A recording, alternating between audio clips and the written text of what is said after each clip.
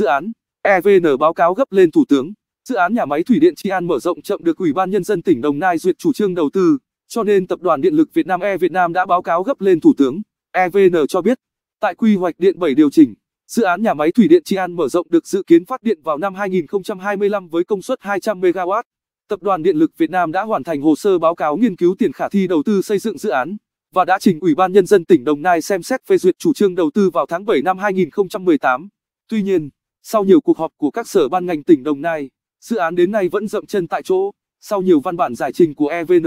ngày 9 tháng 10 năm 2019, tỉnh ủy Đồng Nai đã có văn bản gửi Ban cán sự Đảng Ủy ban nhân dân tỉnh Đồng Nai kết luận của Ban Thường vụ tỉnh ủy tại kỳ họp ngày 2 tháng 10 năm 2019 về dự án nhà máy thủy điện Trị An mở rộng, trong đó chấp thuận chủ trương đầu tư dự án nhà máy thủy điện Trị An mở rộng. Thế nhưng, báo cáo Thủ tướng Chính phủ EVN cho biết, từ khi trình đến thời điểm hiện nay, hồ sơ báo cáo nghiên cứu tiền khả thi đầu tư xây dựng dự án đã được EVN phối hợp với các sở, ban, ngành tỉnh Đồng Nai giải trình đầy đủ Ủy ban nhân dân tỉnh Đồng Nai đáp ứng các quy định hiện hành về quản lý dự án đầu tư xây dựng công trình và đủ điều kiện để quyết định chủ trương đầu tư dự án. Tuy nhiên, đến thời điểm hiện nay chủ trương đầu tư của dự án chưa được Ủy ban nhân dân tỉnh Đồng Nai xem xét quyết định để đảm bảo tiến độ dự án và nhiệm vụ cung ứng điện cho toàn hệ thống đến năm 2025. EVN đề nghị Thủ tướng có ý kiến chỉ đạo Ủy ban nhân dân tỉnh Đồng Nai khẩn trương phê duyệt chủ trương đầu tư dự án.